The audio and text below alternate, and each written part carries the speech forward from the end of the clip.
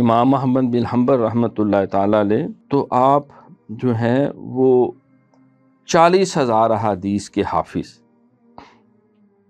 حدیث کے حافظ تھے، صوفیاء اور علماء دونوں میں آپ کا شمار ہوتا ہے۔ تھوڑے لوگ ایسے ہوئے جن کو اللہ نے دونوں جہتیں دی ہوں، جس طرح حضور شیخ عبد القادر جیلانی ہیں، خواجہ معین الدین چشتی اجمیری ہیں، حضرت شیخ شہاب الدین سوروردی ہیں، حضرت شہ نقش بند بہاؤدین بخاری ہیں، حضرت امام ربانی مجدد الفسانی ہیں، امام اظہب النیفا ہیں، امام مالک ہیں، امام محمد حنبل ہیں، امام شافی ہیں۔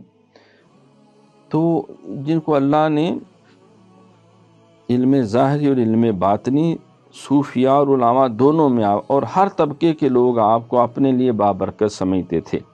آپ بڑے بڑے مشائق مثلا حضرت ذنون مصری، بشر حافی اور سری سختی اور حضرت معروف کرخی۔ رحمۃ اللہ تعالی علی مجمعین کی صحبت میں رہے، اللہ والوں کی صحبت میں رہے، آپ کی کرامت نہایت ظاہر اور فراست بے حد صحیح تھی۔ اور آج کل بعض مشبہین جو ہیں، جو کچھ آپ سے منسوب کرتے ہیں، وہ آپ پر افطرا اور بہتان باندھتے ہیں۔